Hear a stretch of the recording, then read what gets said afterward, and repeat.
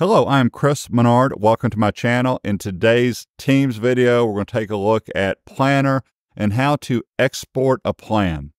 I'm already over in Teams. I'm in Teams. I'm on the general channel for human resources. My plan happened to be called Task. It doesn't matter what the plan is. And I am on Board View. And again, it doesn't matter which one of these four views you're on.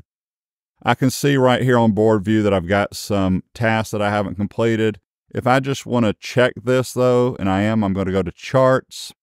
Notice that four tasks are completed and three have not been started. So that's seven. Hit the arrow by the name of your plan. For me, it is task.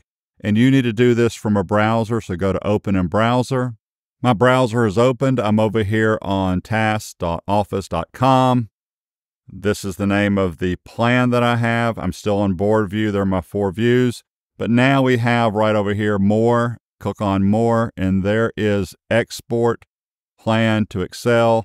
I'll go ahead and click it. It downloaded it. Let's go just take a quick look at the download. When the file opens, you may need to click on Enable Editing. Row 1 is my header row, not required, but I'm going to go ahead and put that in bold. And there are my seven tasks. So this is working, not started versus completed. And just to show you a few other fields here, there you go. Feel free to subscribe to my YouTube channel. My Microsoft Teams online training course is available, along with my Excel courses, OneNote, and Copilot. Have a wonderful day.